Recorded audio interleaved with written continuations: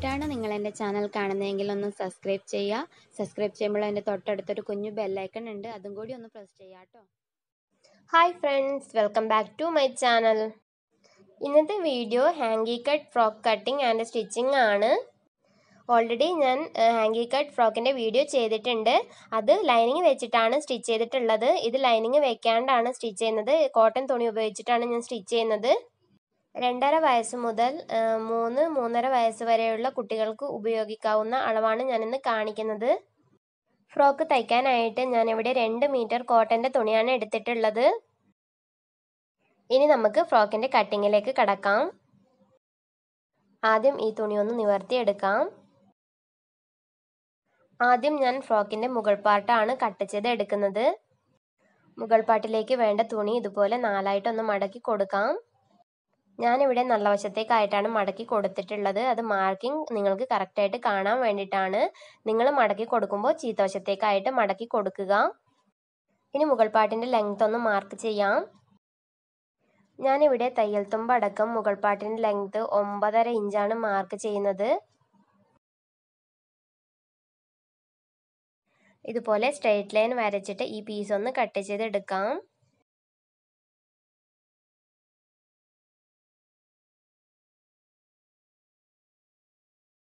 ഇനി നെക്കിന്റെ വീതി മാർക്ക് ചെയ്യാം. ഞാനിവിടെ രണ്ട് ഇഞ്ചാണ് നെക്കിന്റെ വീതി മാർക്ക് ചെയ്ത് കൊടുക്കുന്നത്. നെക്കിന്റെ ഇറക്കം ഞാൻ അരയിഞ്ച് ഷോൾഡർ ജോയിൻ ചെയ്യാൻ വേണ്ടിയിട്ടുള്ള തയ്യൽ തുമ്പ് അടക്കം മൂന്നര ഇഞ്ച് മാർക്ക് ചെയ്ത് കൊടുക്കുകയാണ്. നെക്ക് റൗണ്ടായിട്ട് മാർക്ക് ചെയ്യാം. ഇനി ഷോൾഡർ രണ്ടര ഇഞ്ച് മാർക്ക് ചെയ്ത് കൊടുക്കാം. കൈക്കുഴി നാലിഞ്ച് മാർക്ക് ചെയ്യണം.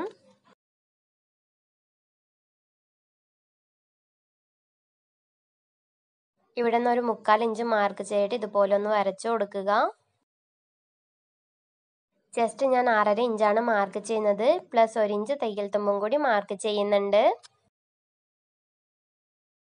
വേസ്റ്റ് ആറ് ഇഞ്ച് മാർക്ക് ചെയ്യാം. പ്ലസ് ഒരു ഇഞ്ച് തയ്യൽ തുമ്പും കൂടി മാർക്ക് ചെയ്യണം.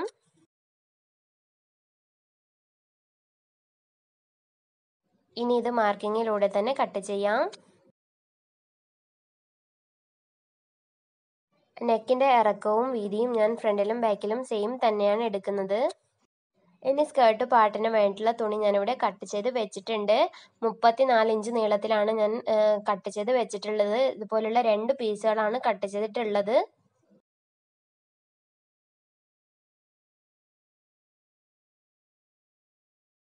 ഇതിന്റെ വീതി എത്രയുണ്ടെന്ന് ഞാനൊന്ന് കാണിച്ചു തരാം.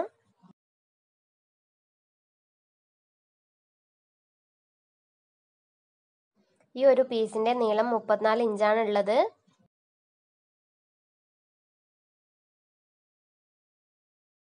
ഇതിന്റെ വീതി മുപ്പത്തി മൂന്ന് ഇഞ്ചാണ് ഉള്ളത്. ഇനി ഈ ഒരു പീസിനെ കറക്റ്റായിട്ട് നാലായിട്ടൊന്ന് മടക്കി കൊടുക്കണം.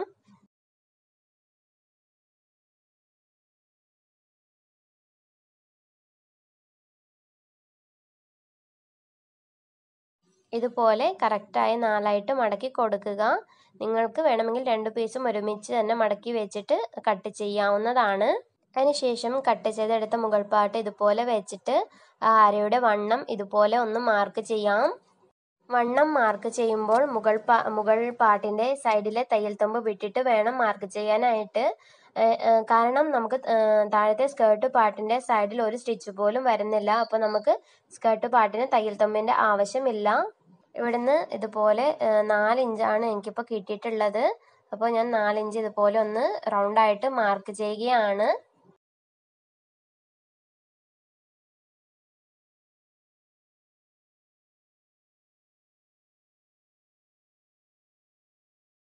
ഇനി സ്കേർട്ട് പാട്ടിന് ആവശ്യമായ ലെങ്ത് ഒന്ന് മാർക്ക് ചെയ്യാം.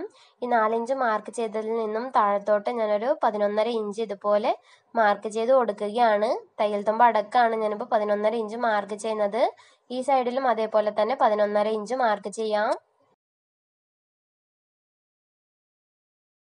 ഇവിടെ നിന്ന് ഇവിടേക്കും ഇവിടെ നിന്ന് ഇവിടേക്കും സെയിം ലെങ്ത് ആയിരിക്കണം. അതേപോലെ തന്നെ ഇവിടെ നിന്ന് ഇവിടേക്കും ഇവിടെ നിന്ന് ഇവിടേക്കും സെയിം ലെങ്ത് തന്നെ ആയിരിക്കണം.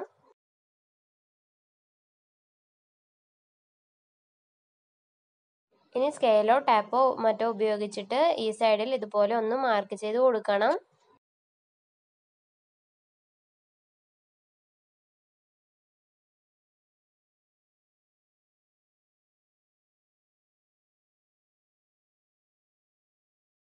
ഇവിടുത്തെ ലെങ്ത്ത് പതിനാറ് ഇഞ്ചാണ് ഉള്ളത് ഇവിടെയും സെയിം ലെങ്ത് തന്നെയാണ്.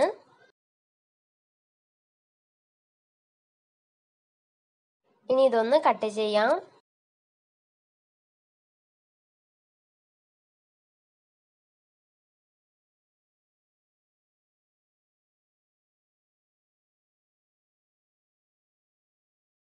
അപ്പോൾ ഒരു പീസ് ഞാനിപ്പോൾ ഇതുപോലെയാണ് കട്ട് ചെയ്തിട്ടുള്ളത്. മറ്റേ പീസും ഇതേപോലെ തന്നെ കട്ട് ചെയ്ത് എടുക്കണം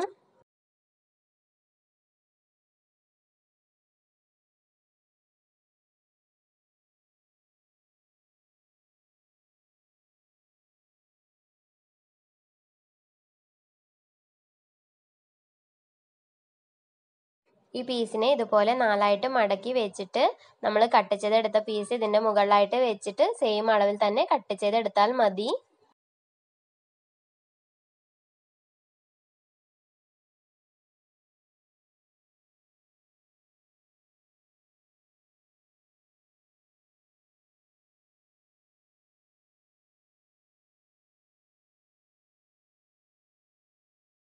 രണ്ട് പീസുകളും സെയിം അളവിൽ തന്നെ കട്ട് ചെയ്തെടുത്തിട്ടുണ്ട് ഇതുപോലെ വെച്ചിട്ടാണ് മുകൾ പാട്ടിലേക്ക് സ്കേർട്ട് പാട്ട് ജോയിൻ ചെയ്ത് കൊടുക്കേണ്ടത്. ഇനി ഞാൻ ഫ്രോക്കിന്റെ വള്ളിക്ക് വേണ്ടിയിട്ടുള്ള തുണി ഒന്ന് കട്ട് ചെയ്ത് എടുക്കുകയാണ്. ഒരു ഇഞ്ച് വീതിയിലായിട്ടാണ് ഞാനിപ്പോൾ തുണി കട്ട് ചെയ്ത് എടുക്കുന്നത്.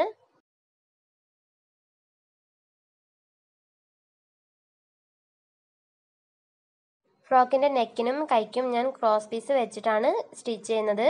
അപ്പോൾ ഒരു ഇഞ്ച് വീതിയിലായിട്ട് ക്രോസ് പീസ് കട്ട് ചെയ്ത് എടുക്കണം.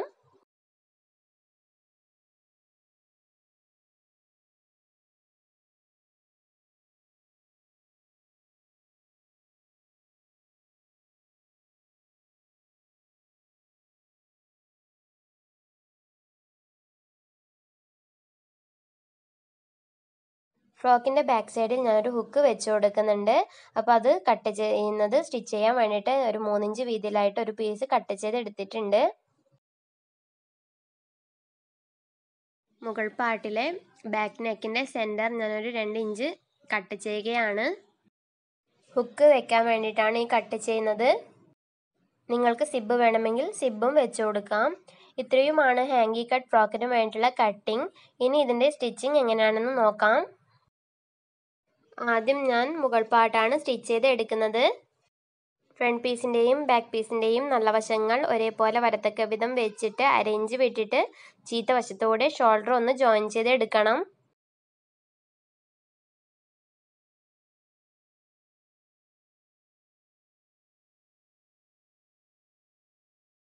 ഇനി ബാക്ക് സൈഡിൽ ഈ ഹുക്ക് വെക്കാൻ വേണ്ടി കട്ട് ചെയ്തത് ഒന്ന് സ്റ്റിച്ച് ചെയ്ത് എടുക്കണം. അതിന് വേണ്ടിയിട്ട് നമ്മൾ ഇതുപോലെ മൂന്നിഞ്ച് വീതിയിലായിട്ട് ഒരു പീസ് കട്ട് ചെയ്ത് എടുത്തിട്ടുണ്ടായിരുന്നു. അതിന്റെ മൂന്ന് സൈഡും ഇതുപോലെ മടക്കിയിട്ട് ആദ്യം ഒന്ന് സ്റ്റിച്ച് ചെയ്ത് എടുക്കുക.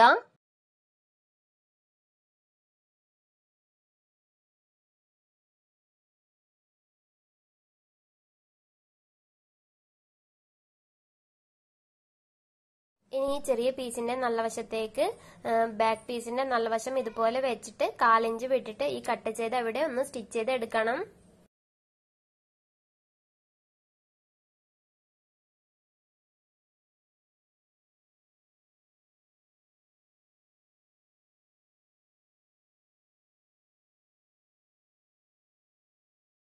ഇനി ഈ പീസിന്റെ സെന്റർ ഇതുപോലെ ഒന്ന് കട്ട് ചെയ്യണം. അതിനുശേഷം ഈ പീസ് ഉൾവശത്തേക്ക് മടക്കിയിട്ട് ഒന്ന് സ്റ്റിച്ചിട്ട് കൊടുക്കാം.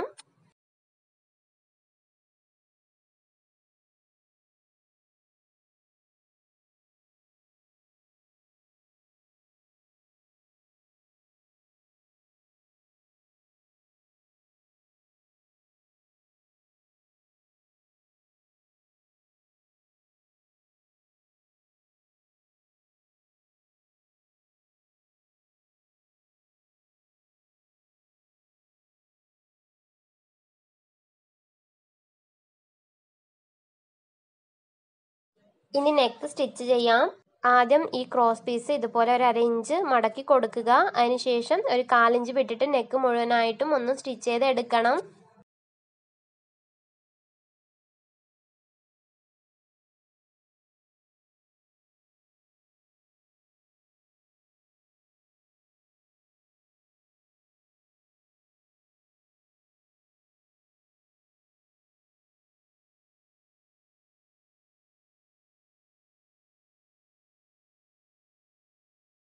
അതേപോലെ തന്നെ ക്രോസ് പീസിൽ അരയിഞ്ച് ഇവിടെ എക്സ്ട്രാ വിട്ടിട്ട് ബാക്കിയുള്ളത് കട്ട് ചെയ്ത് കളയാം.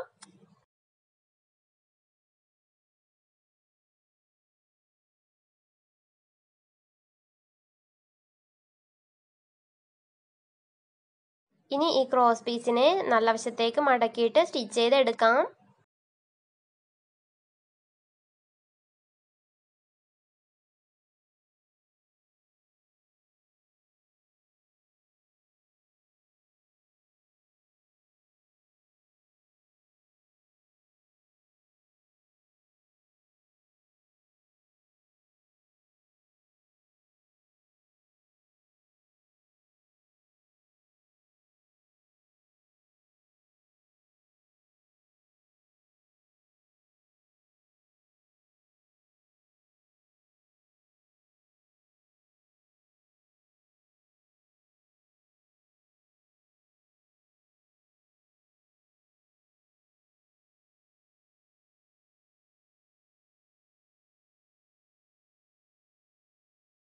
അപ്പോൾ നെക്ക് ഞാൻ ഇതുപോലെ സ്റ്റിച്ച് ചെയ്ത് എടുത്തിട്ടുണ്ട് ഇതേപോലെ തന്നെ ക്രോസ് പീസ് വെച്ചിട്ട് കൈക്കുഴിയും ഒന്ന് സ്റ്റിച്ച് ചെയ്ത്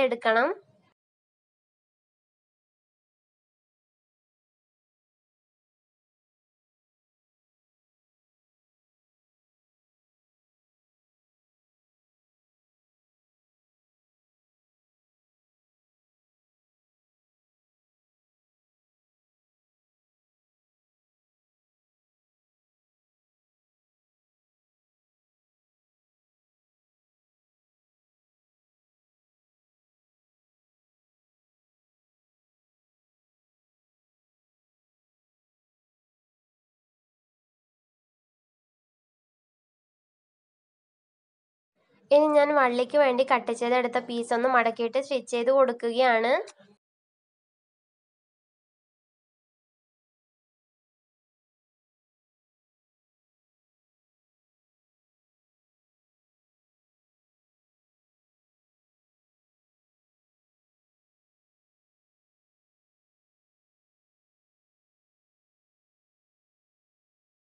ഇപ്പം മുകൾ പാട്ടിന്റെ സൈഡ് ഞാൻ മാർക്ക് ചെയ്ത് എടുത്തിട്ടുണ്ട്. ഇനി ആ മാർക്കിങ്ങിലൂടെ തന്നെ ഒന്ന് സ്റ്റിച്ച് ചെയ്ത് എടുക്കാം.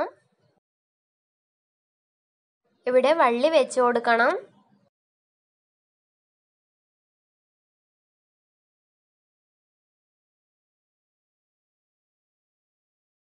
ഇപ്പം രണ്ട് സൈഡും ഞാൻ സ്റ്റിച്ച് ചെയ്ത് എടുത്തിട്ടുണ്ട്. ഇനി സ്കേർട്ട് പാട്ടിന്റെ നാല് സൈഡും ഒന്ന് മടക്കിയിട്ട് സ്റ്റിച്ച് ചെയ്ത് എടുക്കണം.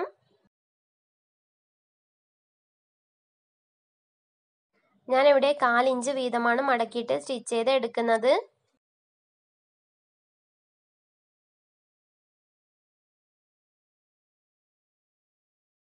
ഇതുപോലെ സ്കേർട്ട് പാട്ടിന്റെ സൈഡ് ഞാൻ സ്റ്റിച്ച് ചെയ്ത് എടുത്തിട്ടുണ്ട്. ഇനി ഈ സ്കേർട്ട് പീസിന്റെ രണ്ട് പീസുകളും വെച്ചിട്ട് ഒരു കാലിഞ്ച് വിട്ടിട്ട് ഇവിടെ ഒന്ന് സ്റ്റിച്ച് ചെയ്ത് എടുക്കണം. ഇതുപോലെ കറക്റ്റായിട്ട് വെച്ചിട്ട് സ്റ്റിച്ച് ചെയ്ത് എടുക്കണം.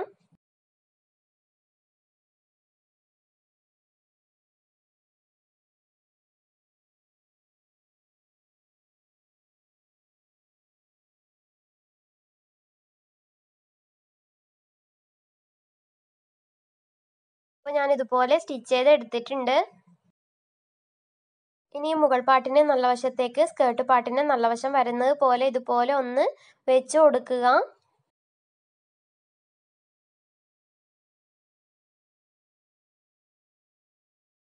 ഇതുപോലെ ജസ്റ്റ് വെച്ച് നോക്കുമ്പോൾ തന്നെ ഇവിടെ അരയുടെ സ്കേർട്ട് പാട്ടിന്റെ അരയുടെ വണ്ണം കുറച്ച് കൂടുതലാണ്. കട്ട് ചെയ്ത് കുറച്ച് കൂടിപ്പോയി ഈ അരയുടെ വണ്ണം കറക്റ്റ് ചെയ്യാനായിട്ട് സ്കേർട്ട് പാട്ടിന് രണ്ട് മൂന്ന് ഞൊറി വെച്ചിട്ടാണ് ഞാനിപ്പോൾ സ്റ്റിച്ച് ചെയ്ത് എടുക്കുന്നത്. അപ്പോൾ നിങ്ങൾ കട്ട് ചെയ്യുമ്പോൾ പ്രത്യേകം ശ്രദ്ധിച്ചിട്ട് കട്ട് ചെയ്യാം. ആദ്യം നമ്മൾ സ്കേർട്ട് പാട്ട് കട്ട് ചെയ്യുമ്പോൾ ഏറ്റവും മുകളിൽ നിന്നും താഴത്തോട്ട് ഒരു നാലിഞ്ച് മാർക്ക് ചെയ്തില്ലേ? ആ മാർക്ക് ചെയ്യുന്നത് ഒരു മൂന്ന് മൂന്നേകാൽ ഇഞ്ച് മാർക്ക് ചെയ്ത് കൊടുത്താൽ മതിയാവും. അപ്പോൾ നമുക്ക് സ്കേർട്ട് പാട്ടും മുകൾ പാട്ടിന്റെയും അരവണ്ണം കറക്റ്റായിട്ട് തന്നെ കിട്ടും.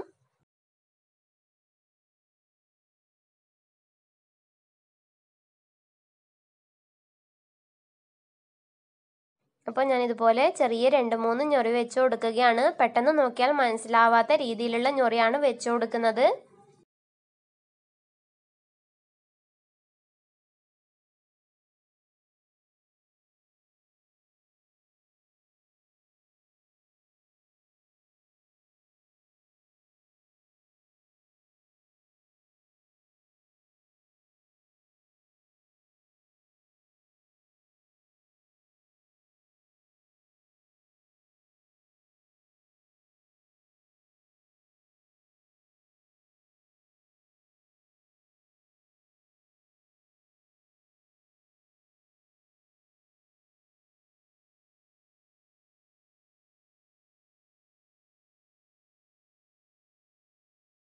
അപ്പോൾ ഞാൻ ഇതുപോലെ മുകൾ പാട്ടും സ്കേർട്ട് പാട്ടും ജോയിൻ ചെയ്ത് എടുത്തിട്ടുണ്ട്.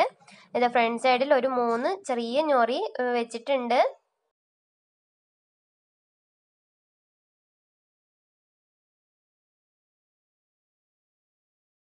ഫ്രോക്കിന്റെ ഫ്രണ്ടിൽ ഞാൻ ഇതുപോലുള്ള ഒരു ബട്ടൺ വെച്ചു കൊടുത്തിട്ടുണ്ട്. ഫ്രോക്കിന്റെ ബാക്ക് സൈഡിൽ ഞാനൊരു ഹുക്കും മയും കൂടി വെച്ചു കൊടുത്തിട്ടുണ്ട്. അപ്പോൾ നല്ല ഭംഗിയുള്ള ഹാങ്കി കട്ട് ഫ്രോക്ക് റെഡിയായി കഴിഞ്ഞു. വളരെ ഈസി ആയിട്ട് തന്നെ ഇത് സ്റ്റിച്ച് ചെയ്ത് എടുക്കാൻ വേണ്ടിയിട്ട് പറ്റും. ഇതിട്ടിട്ട് കാണാനായിട്ട് നല്ല ഭംഗിയാണ്. അപ്പോൾ നിങ്ങൾക്ക് ഈ വീഡിയോ ഇഷ്ടപ്പെടുമെന്ന് വിചാരിക്കുന്നു. വീഡിയോ ഇഷ്ടപ്പെട്ടെങ്കിൽ ഒന്ന് ലൈക്ക് ചെയ്യാനും ഫ്രണ്ട്സ് ആൻഡ് റിലേറ്റീവ്സിന് വീഡിയോ ഷെയർ ചെയ്യാനും മറക്കരുത്. ആരെങ്കിലും പുതുതായി എന്റെ ചാനൽ കാണുന്നവരുണ്ടെങ്കിൽ ഒന്ന് സബ്സ്ക്രൈബ് ചെയ്യാട്ടോ. Thank you thank you for watching